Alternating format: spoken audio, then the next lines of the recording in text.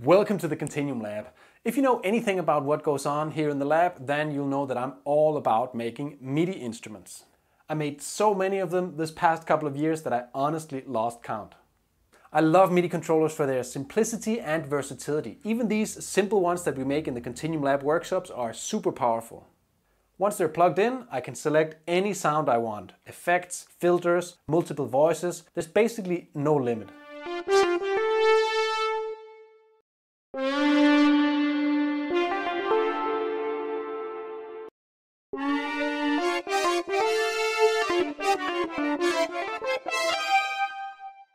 But the thing is, they do need to be plugged in.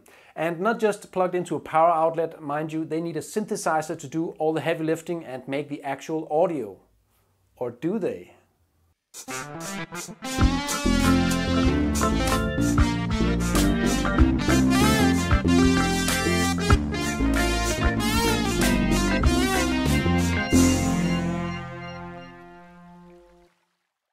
Let me set the scene for you. This is the KLIK Mini.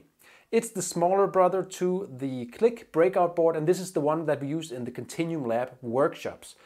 It does pretty much the same stuff except it's a bit smaller, it only has one multiplexer output and it has fewer instruments programmed onto it.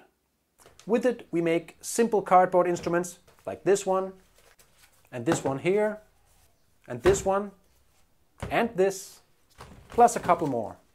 These instruments are specifically designed to be as simple to put together as possible because I want them to work as a good MIDI instrument starting point for kids as young as 4th grade and up. This smaller kit and the workshops were actually my main focus when I first started developing the KontinuumLAB instrument kit. The pandemic, of course, got in the way of most of my workshop plans, and so I've had plenty of time this past year to work on the expanded version, which I've shared here on the channel ad nauseum. But the few workshops that I did get to do have taught me a lot about the strengths and weaknesses of the concept. And uh, one of the main problems that I've discovered is actually the reliance on MIDI itself. You see, in my workshops, I normally teach a bunch of kids and their teachers who have absolutely no idea about software synthesizers and DAWs and all that kind of stuff. So in a two hour session, I generally don't have time to get into all the software and hardware related to synths. So instead we just build the instruments, uh, talk about DIY sensors, maybe decorate them a bit, and then we plug them into my laptop, which of course already has a bunch of synths specifically prepared for these instruments. And then we play.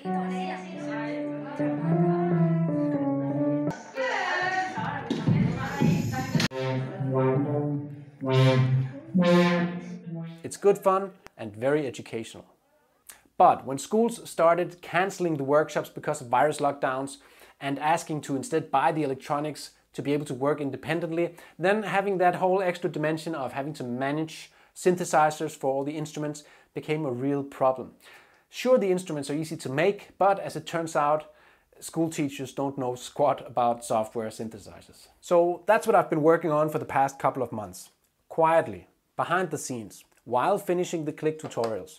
I've been making the KLIK Mini totally self-contained by incorporating onboard audio as well as battery power. Let me just be totally clear here. All of these instruments will still work as MIDI controllers as well. So you can still plug them into your favorite synthesizers and use all your favorite sounds just like before. But now you will also have the option to play uh, without any external gear or software, without knowing anything about MIDI or synthesizers.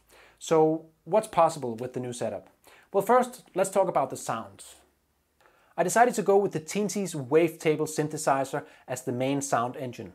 So I curated a collection of semi-realistic sounds specifically for the instruments that can be made using the kit. The actual memory on the chip is quite limited, so these are not super high-end fancy Steinway samples and what have you.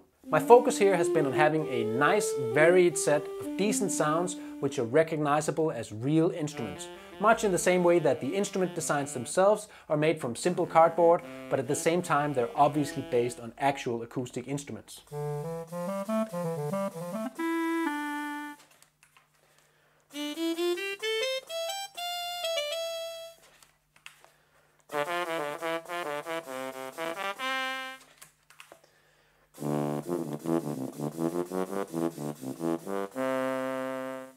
This kit is, first of all, a teaching tool. It is not here to help you make the perfect instrument of your dreams and go tour the world with your band, okay?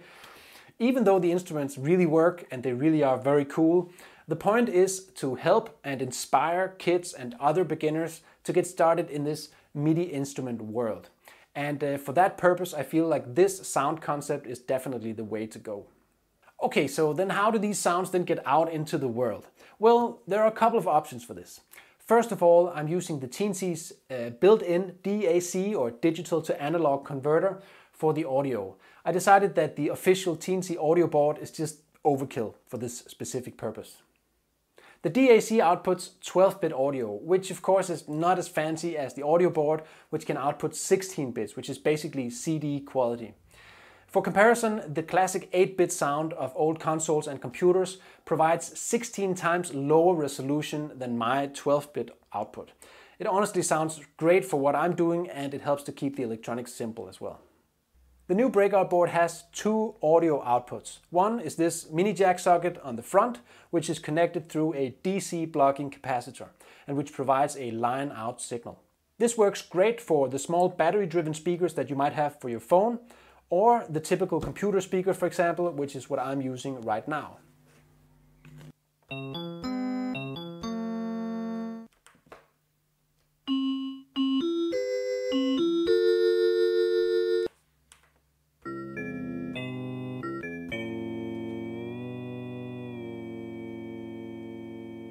Now this output on its own doesn't provide enough power to uh, drive standalone speakers, but contrary to what I've read all over the internet, it actually works just fine with a pair of cheap earbuds such as these ones.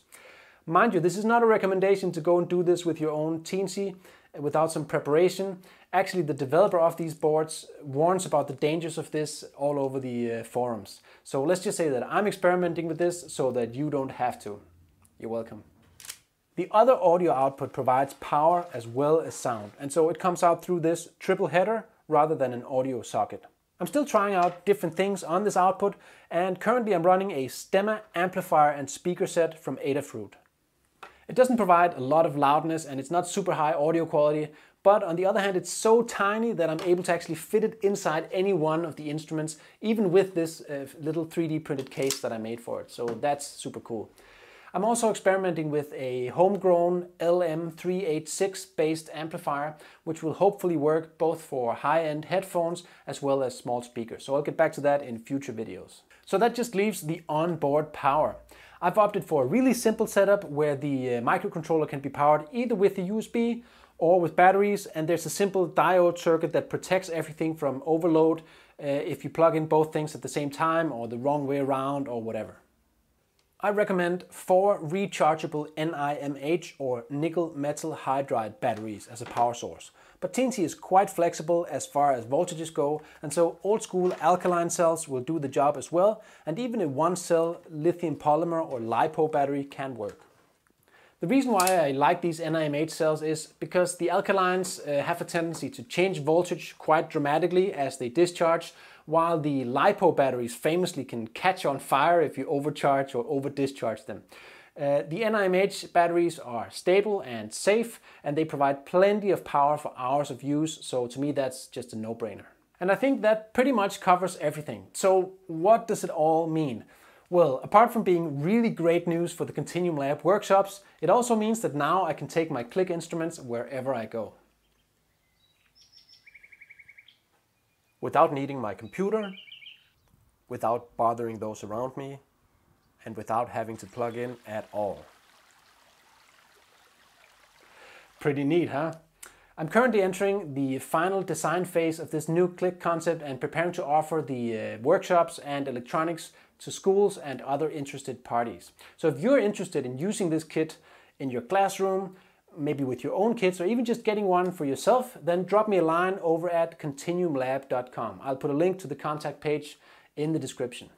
If you have any other comments or questions, feedback, then drop it in the comments. And if you are interested in this kind of stuff, then don't forget to subscribe to this channel for more news on the KontinuumLAB instrument kit.